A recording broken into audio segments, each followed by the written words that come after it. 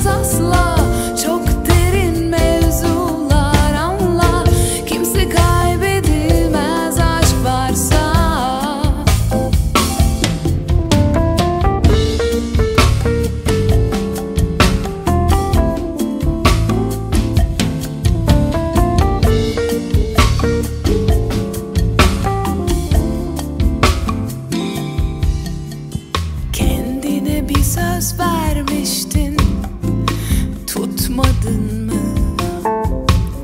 Herkese parçalanmaktan